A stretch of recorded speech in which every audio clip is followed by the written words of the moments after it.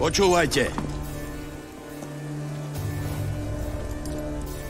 Ponúkam štedrú odmenu pre toho.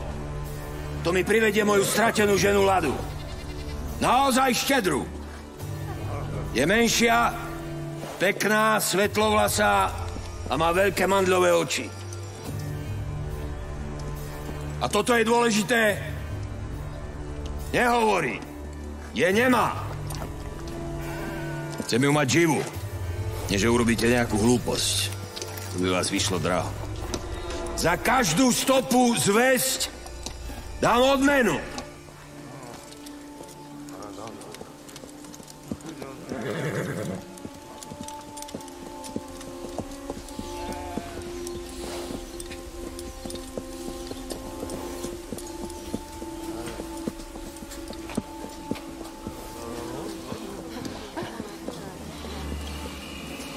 Trochu zvláštne. No, podľa toho, čo som o ňom počul, určite mu utiekla poriadne ďaleko. Nečakaj ma, budem dlho. No, všetci sa zbláznili. A ja idem. Počkaj, počkaj, počkaj. Teba do toho nič nie je.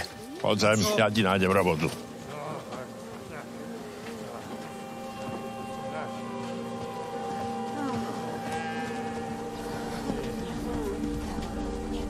Že sa nehambíte.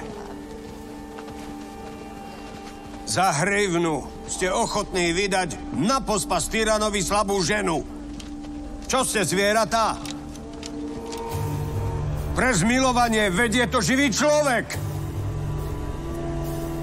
A vy ju chcete naháňať ako nejakú zver.